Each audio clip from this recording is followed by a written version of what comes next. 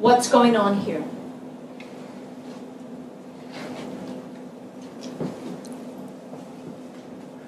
I wasn't let go.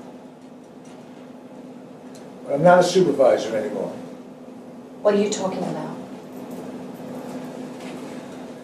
My boss had a talk with me before they handed out the letters and just not supervisor material, I guess. Why? Yeah, I don't belong in an office. It's it's different work. Uh, I wasn't getting it done the way they wanted it. Well, what does that mean? Back on the floor, my old line. Well, we're getting the same amount of money, right? You get my old salary. You need to talk to somebody, Art, because that is not acceptable. It has to be if I want to keep working there. Art, you need to talk to somebody. We need that extra money.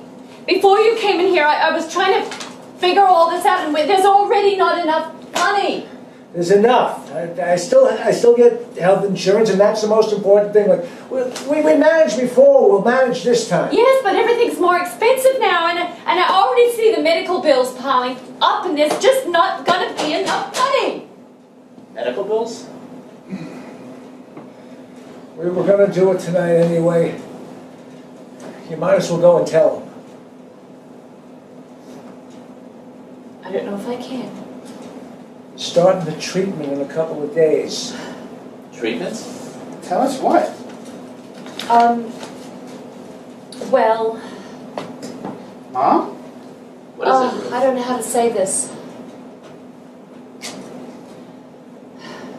I have cancer. Came back? We always knew there was a chance that it could. Yeah, but the doctors have everything all planned out. And I will be sick. You'll be in my prayers, Ruth. So Emily will be in my prayers. Mom. I'm so sorry. Whatever you need. Thank you, Barry. Nick? You'll be okay, right? What the doctor says if I strictly follow the, the treatment regimen and take the medications, that there's a chance that I can beat this. Are they gonna do surgery? It's not an option right now. The treatment's the only way. But I will beat this, and I will fight this. Won't be easy, but faced other problems before, and this is no different. This isn't just a problem. You're sick.